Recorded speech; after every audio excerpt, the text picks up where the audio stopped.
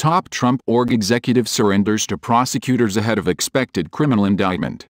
Trump Organization Chief Financial Officer Alan Weisselberg surrendered to the Manhattan District Attorney's Office Thursday morning ahead of expected criminal charges against him and the company in connection with alleged tax crimes, his attorney told CNN Weisselberg is set to be arraigned later Thursday at a lower Manhattan courthouse. Weisselberg's attorneys, Mary Mulligan and Bryan Skarlatos, said plans to plead not guilty and will fight these charges in court. A Manhattan grand jury filed the indictments Wednesday, and they are set to be unsealed Thursday around 2 p.m. ET, according to two sources familiar with the matter. The precise type or number of charges they are expected to face was not immediately clear.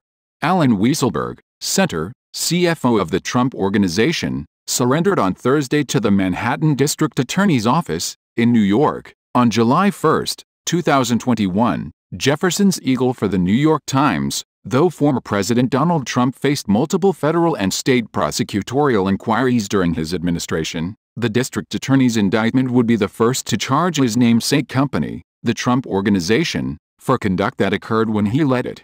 Trump himself is not expected to be charged, his attorney has said.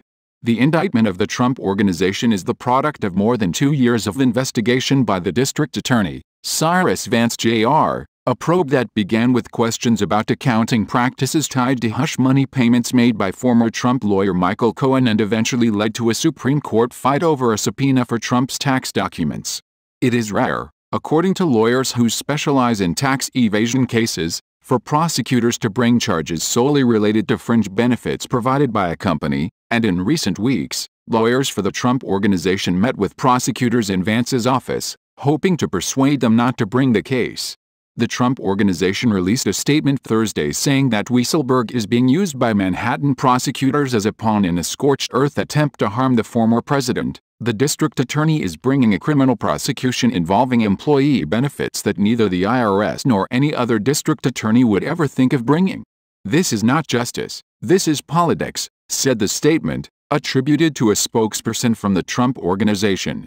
Over the course of the probe, prosecutors have examined a wide array of possible violations, including whether the real estate company misled lenders and insurers or committed tax fraud, even adding a special prosecutor, Mark Pomerantz, to aid in the expansive inquiry.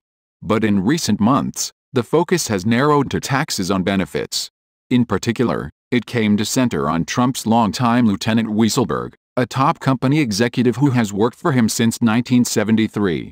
Beginning late last year, prosecutors gathered evidence on Weisselberg with the cooperation of his former daughter-in-law, Jennifer Weisselberg. In the months since she began speaking to authorities, she has turned over boxes of financial records and has met with investigators multiple times, her lawyer told CNN. Documents from Jennifer Weisselberg's divorce from Alan Weisselberg's son Barry show thousands of dollars in payments for cars, rent, tuition, medical bills and more going from Alan Weisselberg to his son's family.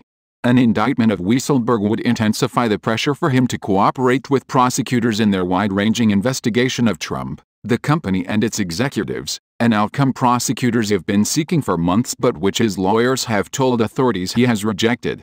This story has been updated with comment from Alan Weisselberg's attorneys.